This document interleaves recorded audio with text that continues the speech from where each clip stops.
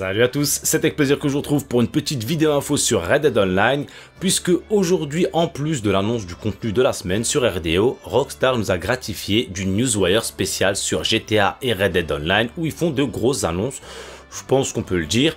Et donc, j'ai vu qu'il y avait beaucoup de réactions. Alors, il faut savoir que moi, je travaille la journée, donc je ne peux pas réagir en direct, mais j'ai suivi un petit peu l'affaire de loin. Et donc, euh, je le disais, beaucoup de réactions quant à ce prochain DLC qui, j'ai l'impression, est vu comme le messie, le plus gros DLC qu'on aura jamais vu sur Red Dead Online. Et donc, j'ai envie de vous dire ce que j'en pense, euh, tout en vous demandant, bien sûr, votre avis d'ici la fin de cette vidéo. Alors, on va commencer avec le petit morceau, on va dire, hein, puisque d'ici le 25 mai, et ça c'est officiel, Rockstar nous annonce de nouvelles courses de chevaux dans Red Red Online, donc 8 nouvelles courses au travers de la map de RDO avec différentes variantes, standard, euh, course cible, course standard libre, cible libre, vous aurez compris. C'est pas ma tasse de thé, mais euh, il y a des joueurs euh, que ça intéresse vraiment pas mal, hein, vous en faites peut-être partie. et donc c'est toujours bien, même si je ne compte pas beaucoup faire ce type de contenu, euh, voilà, de savoir que Rockstar est sur le coup. Parce que plus que de nouvelles courses, c'est du nouveau contenu. Et donc, on sait que les développeurs continuent à travailler sur le jeu, ce qui est plutôt sympathique en soi. Mais le gros morceau, donc le truc qui a intéressé la, communauté, un Red Dead, j'ai envie de vous dire, c'est que Rockstar nous utilise la prochaine mise à jour, donc la mise à jour d'été. Bon, ils utilisent la mise à jour d'été, on se rappelle de ce que ça veut dire quand on nous dit mise à jour d'été. Même si pour relativiser, faut avouer que depuis un certain temps, on a quand même un certain rythme de croisière. Et euh, pour le coup, on peut s'attendre à la sortie de cette prochaine mise à jour d'ici le mois de juillet août grand max, hein, sinon ça s'appellerait pas mise à jour d'été.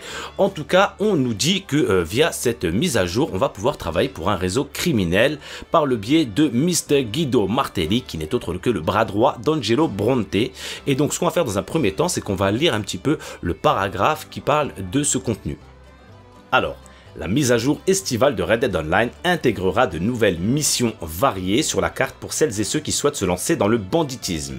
À Saint-Denis, Guido Martelli, le bras droit d'Angelo Bronte, je le disais, organise son propre réseau criminel. Intimidation, crimes odieux ou braquage, les cavaliers ne devront reculer devant rien et se salir les mains pour gagner leur croûte. Alors plusieurs informations. Déjà, on va y revenir un peu plus tard, on nous dit qu'on va pouvoir avoir accès à de nouvelles missions sur la carte et donc, ensuite, on nous dit que à Saint-Denis, Guido Martelli, blablabla, nous proposera des missions à gauche-droite. Alors déjà, est-ce que euh, tout ce contenu sera en rapport avec Guido Martelli ou bien ce sera un donneur d'ordre parmi tant d'autres et donc on aura des missions à Saint-Denis, aux alentours de Saint-Denis, mais aussi aux alentours de la map. Déjà, c'est ce que je me dis. Euh, par contre, beaucoup, je le disais, ont réagi en, envisageant euh, cette grosse mise à jour comme le DLC braquage qu'on attendait tant avec euh, des braquages de banques, des braquages de trains, des braquages de je ne sais quoi d'autre à la façon d'un GTA où il faudrait planifier, etc. Et je vais vous donner mon avis tout de suite. Non, je pense pas du tout que ce soit ça. Alors un DLC dans le thème du banditisme, oui, mais un DLC comme on l'imagine ou comme j'ai l'impression que les gens se l'imaginent avec vraiment toute une organisation de la planification, je le disais, des préparatifs avec des missions, etc. Je ne pense pas du tout, vraiment. Alors désolé pour le titre, c'était un petit peu putaclic, mais vu la façon dont les gens sont emballés, je me suis dit écoute, on va rentrer dans le jeu, vous me connaissez, je suis un peu taquin, et, donc je vais vous donner euh, mes arguments, en tout cas les points sur lesquels je me base pour vous dire que euh, ce sera pas du tout ça, j'en suis quasiment sûr. Alors déjà, c'est pas la première fois qu'on nous parle de braquage de banque ou de braquage de train, puisqu'on a déjà la possibilité de braquer une banque pour ceux qui seraient passés à côté, ou de dévaliser des trains via différentes activités dans le jeu. Donc, plus que le fait de pouvoir braquer, d'ailleurs on ne sait pas ce qu'on va braquer, on dit simplement qu'il va falloir braquer quelqu'un, quelque chose, bref, euh, ce qui va être important, je disais, c'est la façon dont c'est amené, parce que c'est simplement une mission secondaire, on va devoir braquer euh, et voilà, terminer ça d'une traite en 5-6 minutes c'est pas super intéressant. Pour le coup, je pense pas que c'est ce à quoi vous attendez quand on vous dit un DLC autour du banditisme, du braquage.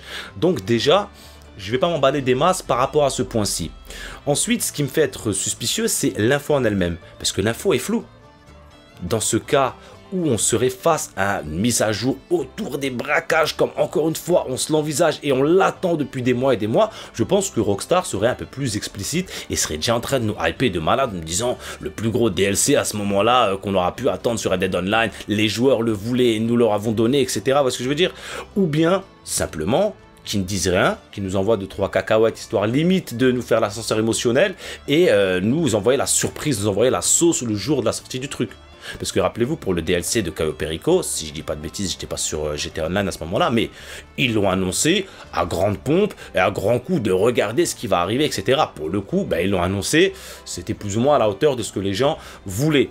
Et là, je pense que soit ils l'auraient annoncé de malade, soit ils auraient rien dit et on n'aurait rien attendu. Et à ce moment-là, on aurait vu la surprise et on aurait pu, via le bouche à oreille, voir des dizaines et des dizaines, pour pas dire des centaines de joueurs revenir sur le jeu parce que voilà, ils auraient eu la surprise le jour de la sortie du DLC. Donc, c'est un peu mon avis. Euh, sinon, on a des infos. On a eu des infos, même, j'ai envie de vous dire, euh, depuis ces derniers mois, puisque rappelez-vous, récemment, on a eu les missions Telegram qui ont fait leur apparition avec une structure totalement originale par rapport à ce qui était proposé euh, de base. Et je pense que ces missions Telegram étaient là pour tester une nouvelle structure de missions de quête sur Red Dead Online.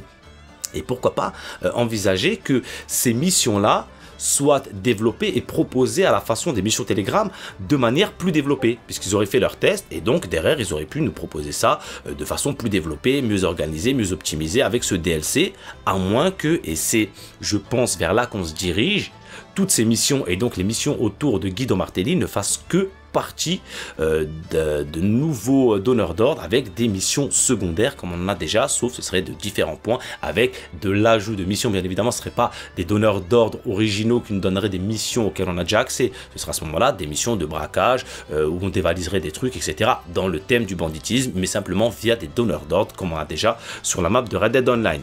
Donc voilà, c'est mon point de vue. Bien évidemment, je lance le débat et je préférerais me tromper. Hein. Ne croyez pas que j'ai envie d'être sûr de moi et vous dire regardez, j'ai raison. Non, si j'ai tort, je suis content.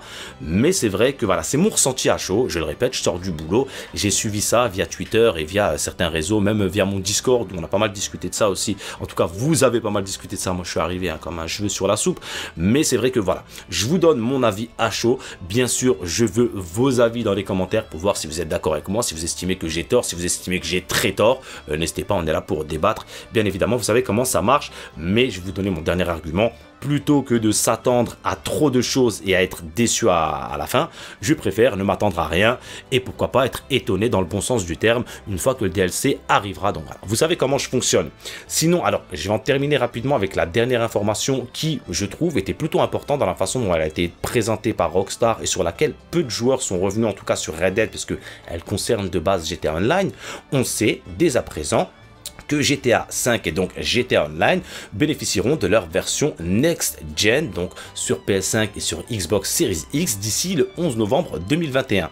Alors, ça veut bien dire que le jeu qui est sorti en 2013 va avoir droit à son adaptation sur une troisième génération de consoles, puisqu'ils sont sortis à la base sur 360 et PS3. Euh, le jeu est arrivé ensuite sur PS4 et Xbox One, et maintenant, donc via cette adaptation et tout le travail, je pense que Rockstar a apporté à l'optimisation et euh, voilà, aux textures et tout le tralala, peut-être même au gameplay, pourquoi pas, hein, pour le rendre un peu plus souple, euh, d'ici le 11 novembre, on aura droit à cette nouvelle mouture next-gen de GTA, ce qui est une très grosse info, je pense, pour nous tous, mais ce que ça veut vouloir dire, en tout cas ce que j'en comprends, c'est que ben, les équipes de développement vont avoir le champ libre après cette date pour se concentrer sur l'adaptation next-gen de Red Dead Redemption 2 et de Red Dead Online en passant, ce qui veut dire que d'ici 2022, à moins qu'ils soient déjà sur le coup et qu'ils veulent faire les annonces une par une en nous disant voilà, une fois le 11 novembre arrivé, ben, peut-être d'ici le 11 décembre, vous aurez droit à l'adaptation next-gen de, de Red Dead.